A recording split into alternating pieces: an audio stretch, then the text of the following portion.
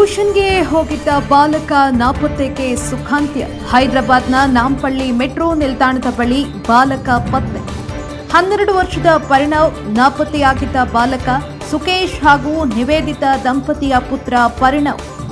ಭಾನುವಾರ ಮಧ್ಯಾಹ್ನ ಹನ್ನೆರಡು ಹದಿನೈದರ ಸುಮಾರಿಗೆ ಬಾಲಕ ನಾಪತ್ತೆಯಾಗಿದ್ದ. ಗುಂಜನೂರಿನ ಡೆನ್ ಅಕಾಡೆಮಿ ಶಾಲೆಯಲ್ಲಿ ಆರನೇ ತರಗತಿಯಲ್ಲಿ ಓದ್ತಾ ಇದ್ದ ಪರಿಣವ್ ಜನವರಿ ಇಪ್ಪತ್ತೊಂದರಂದು ವೈಟ್ ಫೀಲ್ಡ್ನಲ್ಲಿರುವಂತಹ ಟ್ಯೂಷನ್ ಸೆಂಟರ್ಗೆ ಆತನ ತಂದೆ ಬಿಟ್ಟಿದ್ರು. ಆದರೆ ಟ್ಯೂಷನ್ ಮುಗಿದ ಬಳಿಕ ಆತನನ್ನು ಪಿಕ್ ಮಾಡೋದಕ್ಕೆ ಹೋದಂತಹ ಸಂದರ್ಭದಲ್ಲಿ ಬಾಲಕ ನಾಪತ್ತೆಯಾಗಿದ್ದ. ಘಟನೆ ಸಂಬಂಧ ವೈಟ್ ಫೀಲ್ಡ್ ಪೊಲೀಸ್ ಠಾಣೆಯಲ್ಲಿ ಮಿಸ್ಸಿಂಗ್ ಕೇಸ್ ಕೂಡ ದಾಖಲಾಗಿತ್ತು. ಸಿಸಿಟಿವಿ ದೃಶ್ಯಾವಳಿಗಳನ್ನು ಗಮನಿಸಿದಾಗ ಬಾಲಕ ಬಿಎಂಟಿಸಿ ಬಸ್ನಲ್ಲಿ ಪ್ರಯಾಣಿಸಿರುವುದು ಕೂಡ ಗೊತ್ತಾಗಿತ್ತು. ಅದರಂತೆ ಆತನ ಪತ್ತೆಗಾಗಿ ಶೋಧ ಕಾರ್ಯಾಚರಣೆಯನ್ನ ನಡೆಸಿದ್ದಾರೆ ಪೊಲೀಸರು.